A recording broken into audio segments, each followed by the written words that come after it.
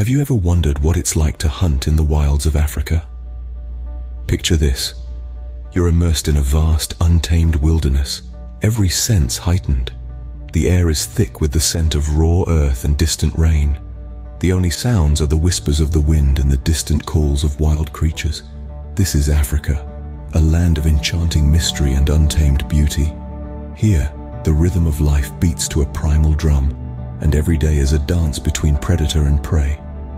Hunting isn't just a sport or a pastime. It's a way to connect with the earth, to test your mettle against the raw power of nature. It's about respect, understanding, and survival. We're going to take you on a thrilling, heart-pounding journey into the heart of Africa's wild kingdom. You'll experience the adrenaline rush of the hunt, the thrill of the chase, and the profound respect for the circle of life. So, are you ready to dive into the heart of Africa? Let's embark on this exciting journey. Scene script.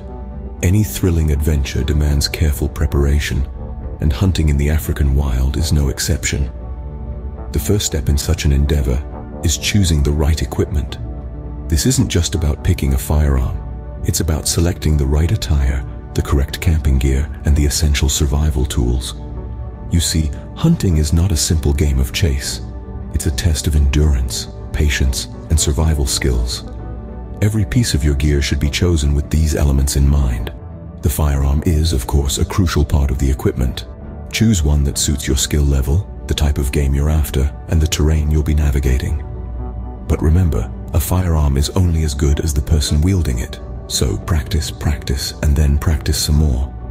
Next, it's time to study the hunting ground, the vast and diverse African terrain.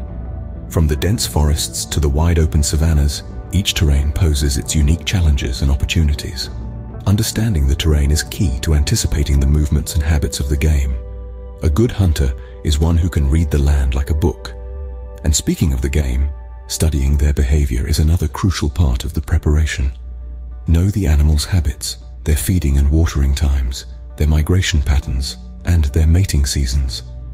This knowledge can give you a significant edge in the hunt. It can mean the difference between a successful hunt and a fruitless chase.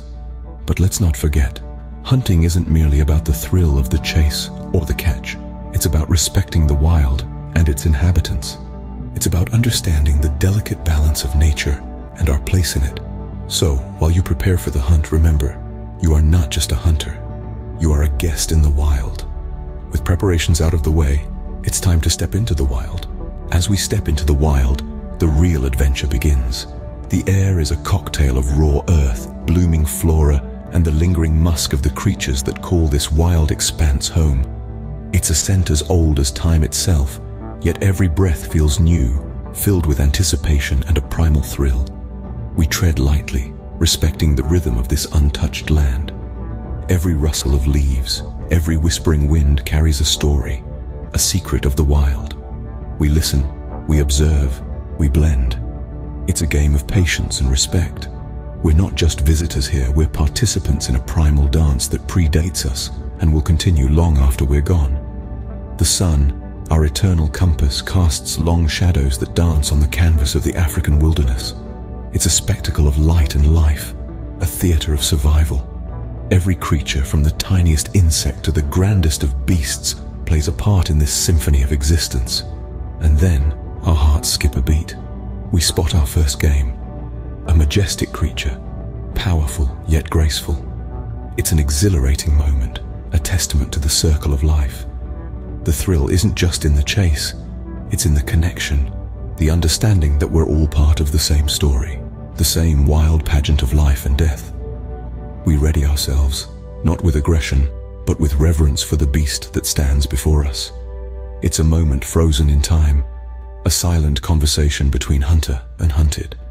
It's not about dominating the wild, but becoming a part of it, understanding it, respecting it. The wind holds its breath, the leaves fall silent, and the world seems to pause. And then, with a burst of energy, the chase begins. It's a dance as old as time, a test of skill, strategy, and survival. The chase is on. Let's see where it leads us. In the wild, the chase is as thrilling as the catch. The chase, an intricate dance of predator and prey, is a spectacle that unfolds in the heart of the wild. It's a game of patience, skill, and above all, survival. As our hunter slowly closes in on the game, each footstep is meticulously calculated, a silent whisper against the rustling leaves. The hunter, a figure of determination, matches the rhythm of the wild, his breath syncing with the gentle breeze that carries the scent of his prey. The landscape challenges, with its uneven terrain and dense undergrowth, making each step a test of endurance. But the thrill of the chase, the adrenaline rush, fuels the hunter, pushing him forward. He navigates the wild with a precision that can only come from years of experience, understanding its language, its signs. Close calls are a part of this thrilling dance. The prey spooks, a rustle in the bushes, a snap of a twig underfoot, and the hunter's heart skips a beat. But he's quick to recover, adapting to the sudden changes, using them to his advantage. The chase is not just about speed, it's also about strategy. The predator must anticipate the prey's next move, predict its path, its decisions. It's a high-stakes chess match played out amidst the canvas of the wild. The hunter's eyes, sharp and focused, never leave his target, his mind constantly calculating the distance, the wind direction, the perfect moment to strike. The chase is a test of wills, a testament to the primal instincts that lie dormant within us. It's a reminder of our connection to the wild, to the raw, unfiltered beauty of nature. The hunter, in his pursuit, becomes a part of the wild, blurring the lines between man and beast. The chase has led us here, at the edge of anticipation. The hunter, the prey, and the wild, all intertwined in this dance of survival. The question remains, will we make the catch? The answer lies ahead, in the heart of the wild. The moment of truth is here. Will the hunt be successful? As the anticipation mounts, so does the realization that the outcome is not always in our control. Sometimes, despite our best efforts, the target may elude us. But then there are times when we triumph, when we successfully catch our quarry. The thrill of those moments, when we face our prey eye to eye, is something that can't be put into words. It's a mixture of exhilaration, respect, and the profound realization of our place in the grand scheme of nature. In the wilds of Africa, every hunt is a lesson, a story that unfolds in its own unique way. It's not just about the catch, it's about the journey, the chase, the strategy, and the patience. It's about understanding the rhythm of the wilderness, the patterns of the animals we pursue, and the balance that nature always maintains. There's a certain respect that comes with hunting. It's a respect for the animals we hunt, for their strength, their instincts, and their will to survive. It's a respect for nature, for its beauty, its harshness, and its unforgiving reality. It's a respect for the circle of life and our role within it. Then there's the thrill of the chase, the adrenaline rush as we track our prey, the quiet anticipation as we wait for the perfect moment, the heartbeat that echoes in our ears as we take the shot. It's a thrill that's hard to match, a thrill that keeps us coming back for more.